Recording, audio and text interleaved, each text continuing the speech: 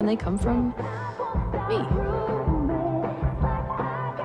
Oh, is that why you wanted me to be floor supervisor so you can just tell me what to do?